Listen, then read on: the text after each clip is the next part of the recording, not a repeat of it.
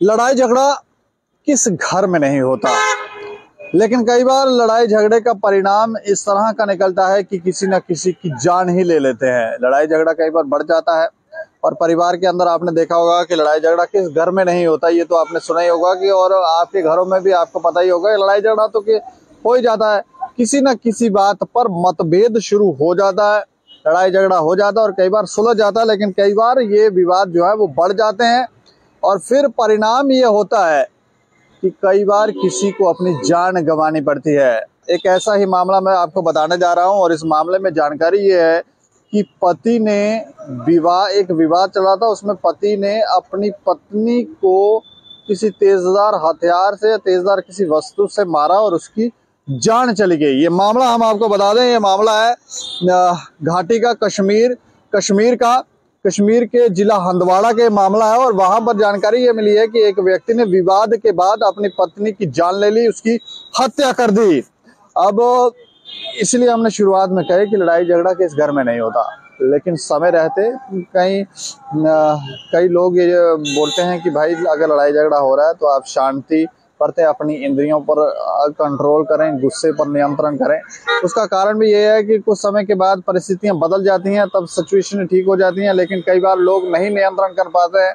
और सामने वाला भी उकसा देता है तो फिर धीरे धीरे बातों से ये बात शुरू होती है और फिर कई बार जान लेकर चली जाती है। और ऐसा ही ये मामला है जहाँ पर एक पति ने विवाद के बाद अपनी पत्नी की हत्या कर दी और हत्या में तेजदार हथियार का इस्तेमाल किया है। ये क्या कुछ जानकारी है? मैं आपको विस्तार से बताऊँ जो जानकारी हमें हम तक पहुँची है जानकारी के अनुसार हंदवाड़ा के आ, मावेर इलाका है। मावेर वहाँ पर चेकी और दूरा गाँव है। वहाँ पर ये मामला जो है बुधवार और गुरुवार की रात का ये मामला है और रात को एक व्यक्ति ने कथित तौर पर अपनी पत्नी की हत्या कर दी।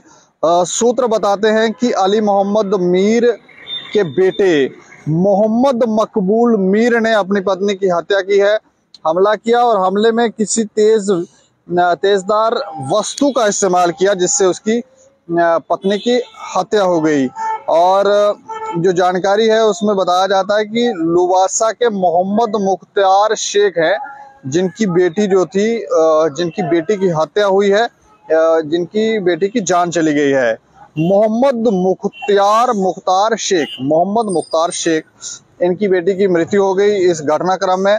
और पुलिस की टीम मौके पर पहुँची उन्होंने अपनी जाँच शुरू कर दी और इस बात की पुष्टि की है की है कि हाँ हमला हुआ है और इस हमले में जो पत्नी है, उसकी जान चली गई है। मतलब पुष्टि कर ली है, केस भी दर्ज किया है, अधिकारियों ने यह भी कहा कि इसमें पूरा आंकलन किया जा रहा है और पूरी जानकारी सामने आने के बाद हम पूरी जानकारी बाहर आने के बाद हम कुछ समय के बाद ये जानकारियाँ साझा करेंगे आखिर क्यों लड़ाई हुई, क्या झगड़ा था, क्या मसला था, क्योंकि ये बातें बाहर नहीं आई हैं कि किस बात को विवाद था। कई बार प्रॉपर्टी को लेकर विवाद होता है, कई बार किसी और बात को लेकर होता है, कई बार एक्स्ट्रा मैरिटल अफेयर की बातें आती हैं, कई बार कुछ और भी मामले होते हैं, घर में कुछ और भी लड़ाई झगड़े जो है चलते रहते हैं। ज़्यादातर ये देखा गया या तो एक्स्ट्रा मैरिटल अफेयर है या फिर ज़मीन को लेकर कोई विवाद होता है।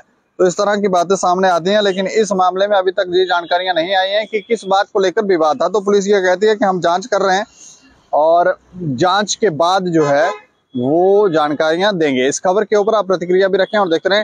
दैनिक समाचार मुझे और मेरे से होगी राजीव गुप्ता को दें नमस्कार।